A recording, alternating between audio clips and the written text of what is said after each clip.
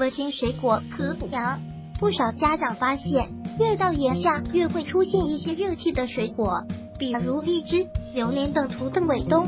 夏天热气水果有很多，夏天我们阳气发散，都跑到体表，容易造成体内虚寒，所以食用一些热性水果就能让起到温补作用，而不是一味清热解暑。天地万物阴阳相成，有寒必有温，万物滋生其实都有它存在的道理。所以给调理孩子身体，若能顺应天时，自然就会事半功倍了。温阳补益。莫忘荔枝。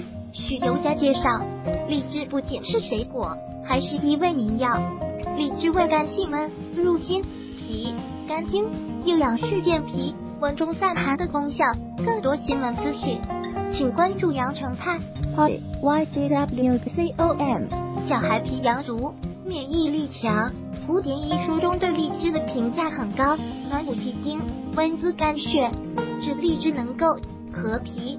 开胃，荔枝不仅能够生津，还能消肿解滞，让气血通行。最重要的是，荔枝对温补孩子脾阳会有很好的效果，温滋肝血，欲秋要解，脾阳充足，孩子的免疫力自然就强了。西方营养学的研究也表明，荔枝肉有丰富的维生素 C 和蛋白质，有助于增强机体的免疫功能，提高抗病能力。此外，荔枝还能补脑益智，这是因为荔枝果肉中有丰富的葡萄糖，蔗糖总糖量在百分之七十以上，具有补充能量、增加营养的作用。担心小孩吃荔枝上火，怎么应对？家长不让孩子吃荔枝，主要是担心吃后会热气上火，进而引发感冒、发烧、喉咙痛等。那么，孩子为什么会动不动就上火呢？许尤佳解释，大多数时候，孩子的上火并不是热气，而是由于脾胃功能弱，容易积食。孩子已经处于积食、消化不好的状态，但是家长并不知道，所以孩子此时一吃营养高、难消化的食物，就会引发呼吸道疾病。其实这种情况下，吃其他难消化的东西，孩子一样会感冒、喉咙痛。给小孩吃荔枝要掌握相关优劣图视觉中国，如何避免上火？家长掌握这三点，家长要观察并及时发现孩子出现积食的情况，帮他们消失导致，这样孩子吃荔枝才不上火。同时还要掌握以下三点：一、消化好，无病痛。如果孩子身体有不适状况，如流鼻水、咳嗽、喉咙痛等。此时就不能吃荔枝。孩子不积食，消化情况良好，舌苔、口气、大便、睡眠都比较正常，吃荔枝就问题不大了。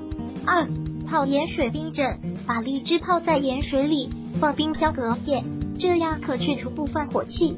但是要注意，从冰箱拿出来之后要放回室温，才能让孩子吃用。三、控制量，不可太多，具体多少？家长要观察孩子第二天的情况，如果消化没有问题，就说明没有过量，可以适当增减。小孩吃荔枝要节制，一般每次不超过五个涂成硬瓶。只要注意以上三点，吃荔枝也不容易热气上火。